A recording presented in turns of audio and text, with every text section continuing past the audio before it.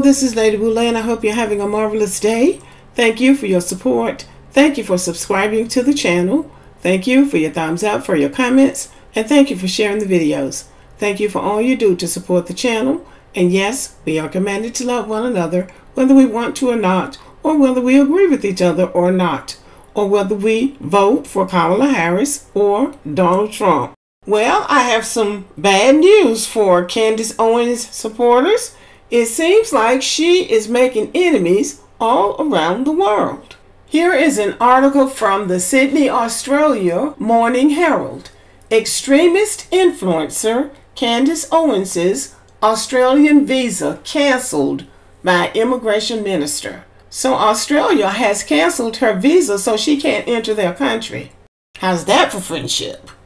Extremist U.S. provocateur Candace Owens' Australian visa has been cancelled as the government warns that her attacks on Jewish, Muslim, and trans people have the capacity to incite discord. Immigration Minister Tony Burke confirmed that the Donald Trump aligned influencer who has claimed that Israel was founded by a cult and that secret Jewish gangs operate in Hollywood would not be allowed in Australia as federal Labor attempts to lower the temperature on domestic protests about the war in the Middle East. So they're trying to keep their citizens under control. They don't need an outsider coming in there inciting anger and making the problems that they already have down there worse than what they already are. So good for them. And keeping her out seems like a good idea to me. From downplaying the impact of the Holocaust with comments about German SS officer Joseph Mengele, all the way to claims that Muslims started slavery, Candace Owens has the capacity to incite discord in almost every direction, he said. Australia's national interest is best served when Candace Owens is somewhere else. Owens rose to fame for her conservative activism she was a communications director for Turning Point USA from 2017 to 2019, and in 2021 joined the conservative media company The Daily Wire to host her own political talk show. However, in March this year, she was dismissed following a series of anti Semitic comments. She now hosts her own YouTube channel and has 18 million online followers. Owens' comments have included describing Mengele's experiments on Auschwitz prisoners as bizarre propaganda. So, for anybody who might not know, this is a picture of Joseph Mengele. He was a German officer during World War II, during the Holocaust at the concentration camp at Auschwitz. He was called the Angel of Death because he was one of the ones that was administering gas to those people and killing numerous numbers of Jews and other people as well. In the world in the world of Jewish people, he is one of the worst people that ever walked the earth. They're very sensitive about this and it's the hill they're willing to die on evidently. Jewish groups called for Owens' visa to be canceled in August. As Burke indicated, he would block it, telling this masthead tickets to these events are selling for $100 I hope she has a good refunds policy.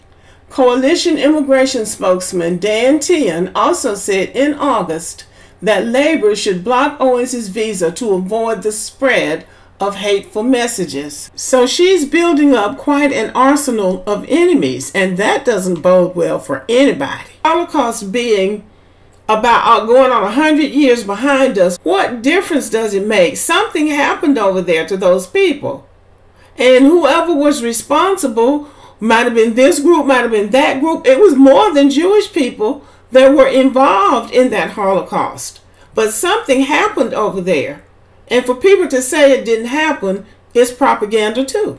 And because her visa was canceled by the Minister of Immigration, they can refuse her entry into that country, especially because she they think she's coming in there to incite anger, and maybe even violence. So I'm not sure how she's going to get around that, but it's going to be interesting to see. Speaking on Sydney radio station 2GB in August, The far right influencer who thinks Trump has become too moderate said she was excited about traveling to Australia for her November tour. It's kind of incredible to think people could be so fearful of just speech and conversation, she told 2GB's Ben Fordham.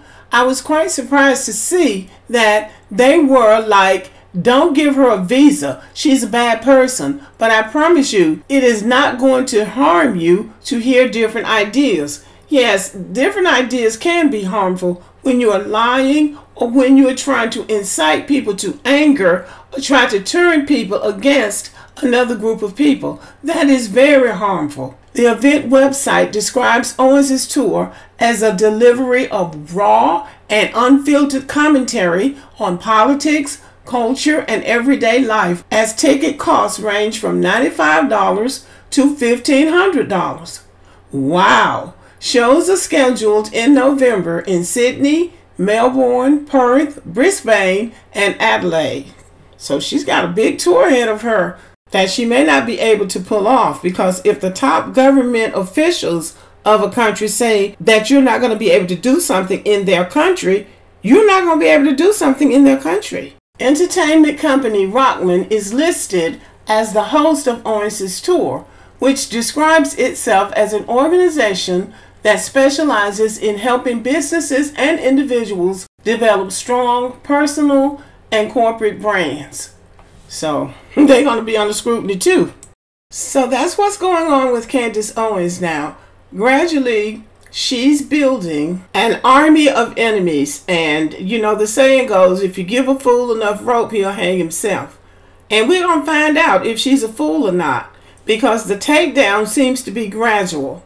And we're just going to see how this progresses over time.